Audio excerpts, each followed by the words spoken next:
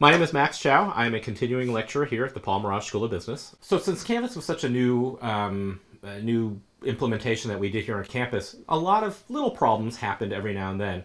But OIT has been very helpful that as soon as a problem comes up, typically as I'm designing something or I can't figure out what to do with something, I will email OIT or I'll call them and they get a very quick answer to me and they help me solve my problem. Another problem that comes up often when we're in Canvas is students, when they're using the Canvas itself, they'll have some problems. We've encouraged them to directly communicate with OIT and EEE support to get the solutions there.